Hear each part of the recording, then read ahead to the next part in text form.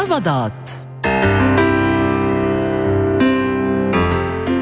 أعزائي المستمعين السلام عليكم ورحمة الله وبركاته. نجدد لكم التحية من خلال برنامجكم بلسم على أثير نور دبي وموضوعنا عن بطارية القلب وقصور عضلة القلب مع ضيفنا الدكتور عبد الله الهاجري استشاري أمراض القلب والخبير في القسطرة القلبية.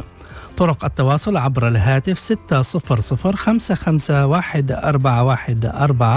والرسائل النصية القصيرة على 4006 ونرحب أيضا بمتابعينا عبر الحساب الرسمي لإذاعة نور دبي على الإنستغرام لايف نور دبي راديو. دكتور عبد الله معنا طيب بين ما تم التواصل مع الدكتور عبد الله بالنسبة لموضوع موضوعنا طبعا عن قصور عضلة القلب وأيضا عن بطارية عضلة القلب. آه، من أهم الأعراض التي يعاني منها الشخص الذي يعاني من قصور في عضلة القلب ضيق التنفس وخصوصا لدى القيام حتى بجهد بسيط يعني بمعنى صعود الدرج أو ما شابه ذلك. هناك أيضا يكون آه، سعال آه، أيضا يكون لديه وذمة. هذه الوذمة أو التورم في منطقة القدمين والكاح الساحل بشكل أساسي طبعا آه، هناك التعب يعني يشعر بالتعب وأيضا الوهن العام حتى لو آه، يعني قام حتى بجهد بسيط وفي بعض الحالات مع تطور الإصابة طبعا هي الموضوع يكون هذا التعب وهذا الوهن العام حتى بالأعمال البسيطة أو حتى لو قام بالأعمال الاعتيادية التي يقوم بها عادة. آه، من العوامل التي تؤدي لحدوث هذه المشكلة؟ طبعا هناك زيادة الوزن يكون هناك أيضا آه، بالنسبة للأعراض ربما يكون لديه تسرع في دقات القلب الدوار وما شابه ذلك. إذا الموضوع قصور عضلة القلب التي تختلف هذه الأعراض من شخص إلى آخر وهذه الأعراض طبعا قد تحدث يعني لدى البعض آه، نتيجة آه، تراكم السوائل والاحتقان في عضلة القلب وتضاعف تدفق الدم. مثل ما بنعرف وظيفة القلب هي آه، ضخ الدم إلى كافة أنحاء الجسم وإلى الأعضاء النبيلة في الجسم. إذا موضوعنا عن قصور عضلة القلب وأيضا عن بطارية القلب مع ضيفنا الدكتور عبد الله الهاجري استشاري أمراض القلب والخبير في القسطرة القلبية. دكتور عبد الله السلام عليكم. عليكم السلام ورحمة الله دكتور. قصور عضلة القلب. أول شيء يعني خلينا نوضح من يصاب بهذه المشكلة وأيضا ما هي المظاهر السريرية لقصور عضلة القلب دكتور عبد الله؟ نعم. الأكثر الأشخاص اللي يصابون بقصور عضلة القلب هم آه، أشخاص اللي عندهم آه، تضيق أو تصلب في الشرايين التاجية. أيضا مرضى ارتفاع ضغط الدم مرضى سكري أو الأشخاص اللي عندهم مشاكل في صمامات القلب سواء كان على شكل تضيق في الصمام أو ارتخاء أو ارتجاع في الصمام أيضا الأشخاص اللي هم عرضة هم أيضا اللي عندهم تاريخ مرضي آه، للمرض نفسه يعني عندهم مثلا مشاكل في آه، عضلة القلب نفسها نعم. سواء كان تضخم سواء كان تمدد في عضلة القلب. آه، فهؤلاء هم الأشخاص الأكثر تعرض. هناك أيضا بعض المرضى اللي هم أيضا معرضين لفشل أو قصور في عضله القلب اللي هم الأشخاص اللي عندهم مشاكل في الجهاز المناعي في الجسم. وبعض الأمراض اللي لها علاقة بال آه، اللي هي الجهاز المناعي نعم. بشكل عام يعني. نعم. نعم, نعم. طيب آه، لا هي رسالة آه، لا تخص البرنامج تخص الأخ أبو عمر راشد الخرجي في البث المباشر. طبعا نحولها إلى الأخ عمر أبو عمر. طيب نذكر بطرق التواصل على الهاتف 600 551 414 والرسائل النصية القصيرة على 4006 ونرحب بمتابعينا عبر الحساب الرسمي لإذاعة نور دبي على الإنستغرام لايف نور دبي راديو. ضيفنا الدكتور عبد الله الهاجري استشاري أمراض القلب. والخبير في القسطرة القلبية دكتور عبد الله الأعراض كيف تظهر هذه الأعراض؟ وأيضا يعني نركز على الأعراض المنذرة التي يعني تكون بمثابة جرس إنذار أيضا لكي نراجع الطبيب في مرحلة باكرة من المراحل الإصابة. نعم.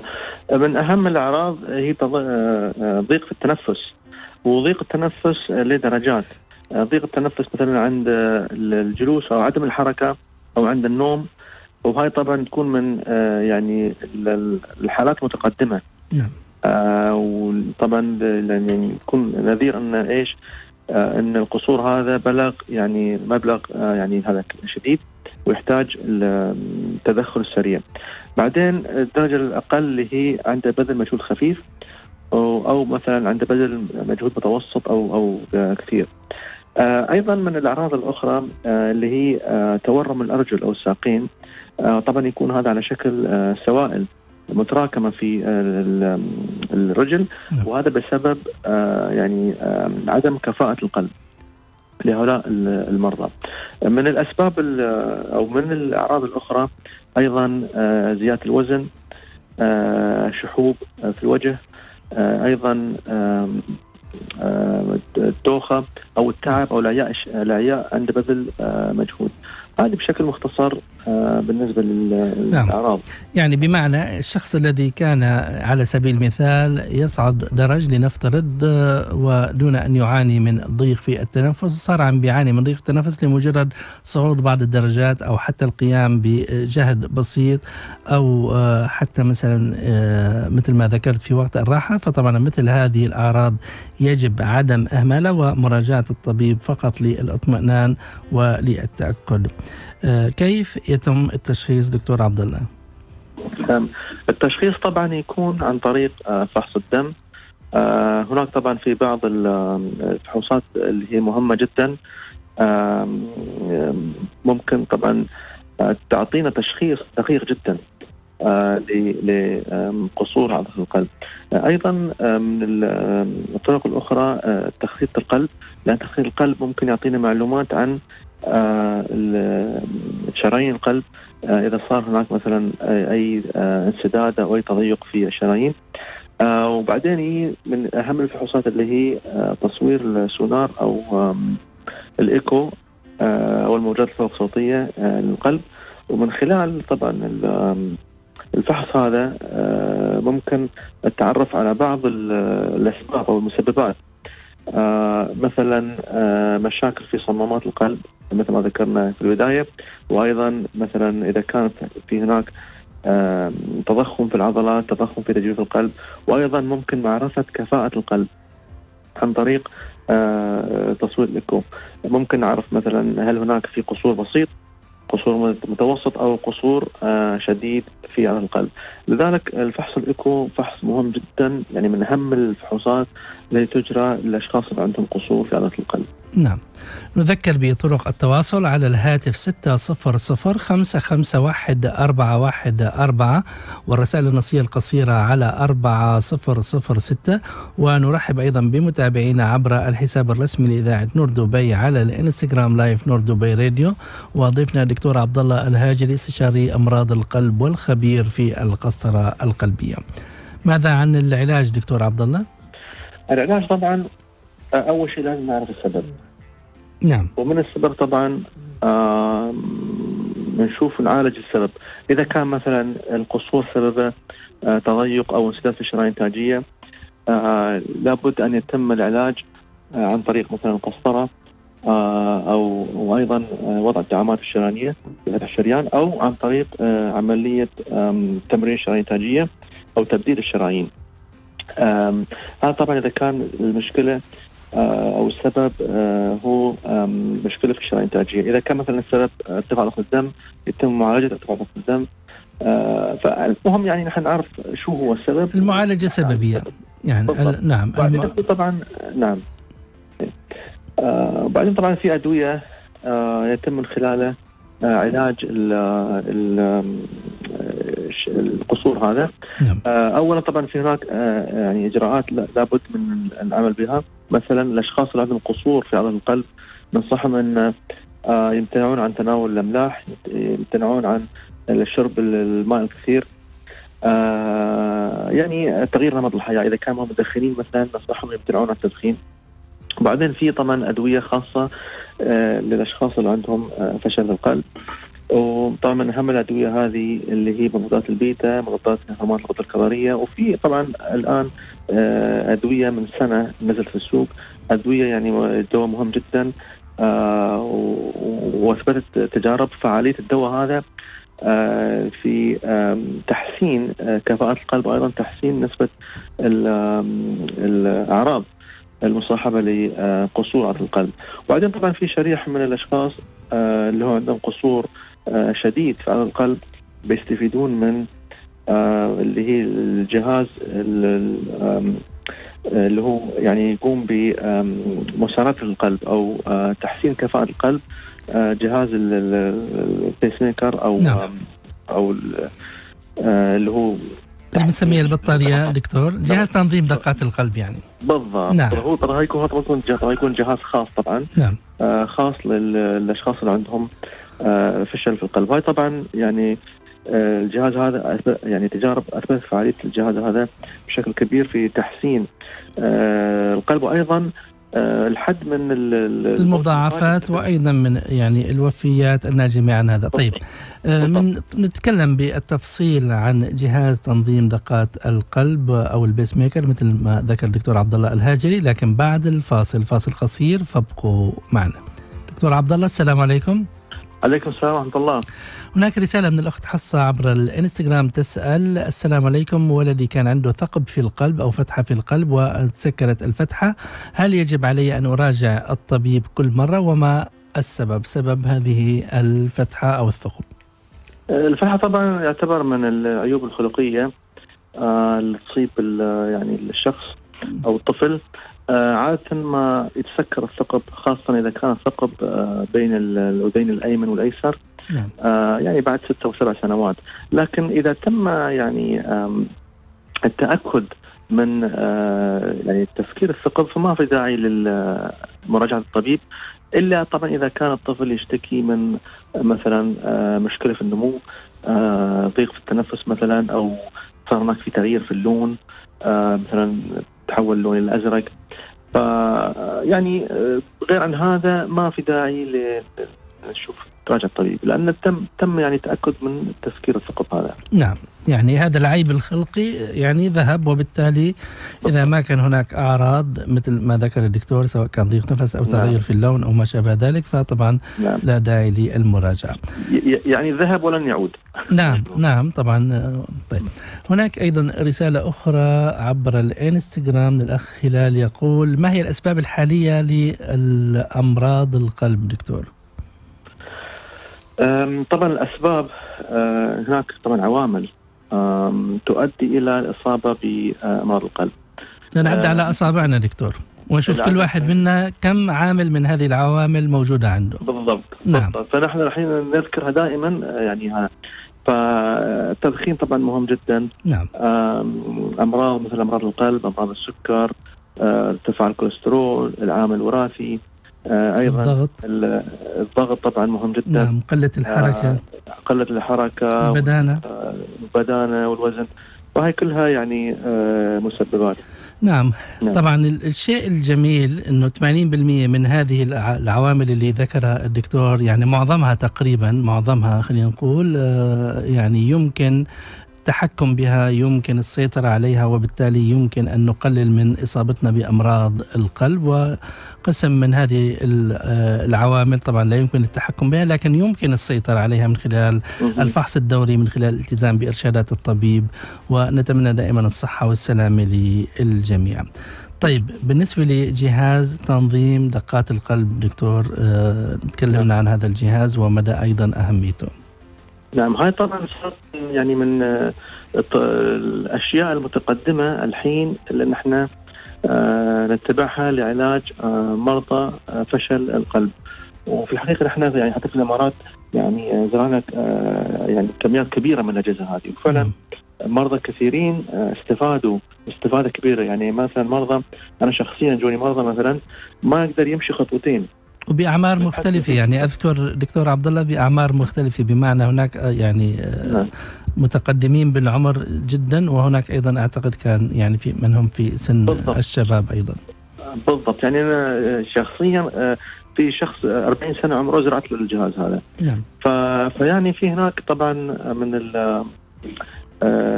بعض الأمراض بعض المرضى يستفيدون استفادة كبيرة جدا من زراعة الجهاز هذا.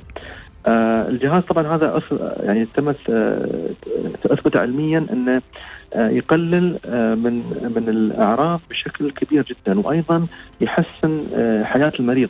يعني مثلا المريض آه، يصير ينام أحسن يتحرك أحسن آه، يبذل مجهود أكبر آه، وفوق هذا أيضا آه، نسبة دخوله للمستشفى يقل بشكل كبير جدا نعم. آه، أيضا آه، بالنسبة للوفيات أيضا أثبت الجهاز هذا إن يقل من نسبة الوفيات من المرض هذا من المرض فشل القلب فاذا يعني لا شك فيه إن زرع الجهاز هذا يعني فيه فائده كبيرة كبيرة جدا لمرضى قصور عضله القلب. الجهاز هذا طبعا يكون نوعين، نوع الجهاز يساند القلب آه، ونوع ثاني يساعد القلب آه، وأيضا آه، لا سمح الله إذا صار هناك توقف مثلا في القلب أو صار هناك مشكلة في كه- كهربائية القلب يقوم الجهاز هذا الجهاز بإعطاء مثل شحنة كهربائية للقلب. نعم. صدمة كهربائية ويرجع ال- اللي هي الاضطراب الكهربائي يعني إلى الطبيعي. فهذا طبعا يعني من أيضا ما ذكرنا من الاساليب ال- ال- المتقدمة في علاج آه، فشل القلب، أيضا في هناك طبعا آه، أساليب أخرى اللي هي آه، زراعة ال- القلب أو الجهاز المساند للقلب أو الالفاد أيضا يتم زراعة الجهاز هذا للمرضى اللي- عندهم مثلا فشل قلب مستعصي. نعم. آه، طبعا ما استفادوا من آه، أي آه، زراعة أي جهاز ثاني أو علاج. ف- وبعدين يعطي أيضا يأتي الخيار الأخير طبعا زراعه القلب نفسه. وعاده زراعة القلب آه، بشكل كامل يكون حق الأشخاص اللي هم آه، يعني يكونون صغار في العمر شوية. نعم. آه، وطبعا نعم. يعني مذكور ان إيش. الأشياء الجديدة اللي جت في آم، في موضوع اللي هو نعم. نعم طيب رسالة تقول ولدي أعتقد عمره 18 سنة يعاني من تضخم في عضلة القلب بسبب إصابته بالتهاب حاد تابعنا مع اختصاص قلب لمدة ستة أشهر والحمد لله طمنا بأن العام- الأمر عارض فقط وانتهى فهل سيعود المرض مرة أخرى؟ آه، طبعا ال- معروف هذا الشيء الالتهاب خاصة التهاب الفيروس ممكن يسبب آه، التهابات شديدة في عضلة القلب وبالتالي يسبب تضخم في عضلة القلب. آه، يعني آه، شريحة كبيرة من المرضى اللي يصير عندهم تضخم آه، من التهاب الفيروس شريحة كبيرة منهم ال- ال- القلب يرجع طبيعي. آه، آه، لكن هذا ما يضمن عدم تكرار الالتهاب في المستقبل. فلأن لأن الالتهاب هذا يعني موجود. كل أحد ممكن يصاب بالالتهاب آه، في في عضلات القلب وبالتالي القصور. أيضا في هناك شريحة قليلة من ال- المرضى يصير عندهم هذا يعني الضعف يكون دائم. نعم. ونعم. طيب ف- طيب ف- دكتور يعني آه، طبعا نتمنى الصحة والسلامة للجميع وأتكلم بشكل عام لأنه طبعا خارج دولة الإمارات يعني حدثت مشكلة أنه مريض لديه كان مشكلة في ال- القلب والطبيب ما حب يخبره مباشرة بأنه لديك مشكلة ويعني قال له وضعك يعني طبيعي لكن تحتاج إلى واحد اثنين ثلاثة. هذا الشخص طبعا خرج و لم يعد للأسف توفى بسبب آه، يعني طبعا جهد يعني ذهب إلى الأرض ليعمل وبالتالي نتيجة الجهد توفي. السؤال يعني تطمين ال- الطبيب حينما يقوم الطبيب بتطمين المريض تطمينا زائدا دكتور يعني نتكلم بشكل عام وطبعا لا أتكلم عن هذه الرسالة ونتمنى الصحة للجميع. هذا التطمين الزائد يعني ألا يضر بالمريض؟ أكيد يعني يضر بالمريض ضرر كبير يعني إحنا لازم كأطباء نكون صريحين مع آه، المرضى نفهمهم بالضبط آه، شو المشكلة وكيف ممكن نعالج المشكلة وأيضا آه، خطورة ال- ال- الأمر. نعم. لأن يعني هذا طبعا بيفيد المريض. وال- والمريض يحس أنه يعني لازم يكون جاد في التعامل مع هالمرض. يعني كثيرين من المرضى إذا ما نتكلم معهم صراحة وما نوضح لهم المخاطر آه، وما ننصحهم. ممكن يعني يتجاهلون نصائح الطبيب وبالتالي يعني مثلاً- مخاطر نعم. بالضبط. يعني مثلا ما يتناولون الأدوية نعم. ما يتبعون مثلا نصائح آه، طبيب. وهذا طبعا يعني يأتي ب يعني آه، عكسيا أو بيضر المريض هذا الشيء هذا. نعم. فنحن لازم كأطباء نشرح المريض بالضبط المشكلة والمخاطر. بطريقة مبسطة وبشكل مفهوم يعني حتى يعرف ما هو المرض ما هي الأضرار ما هي الأشياء التي يجب أن ين- ينتبه لها يبتعد عنها ما هي الأشياء التي يجب أن يتجنبها. يعني كل هذه الأمور هامة جدا. رسالة تقول أخت حصة تسأل هل ارتفاع ضغط الدم يؤدي لضخامة عضلة القلب؟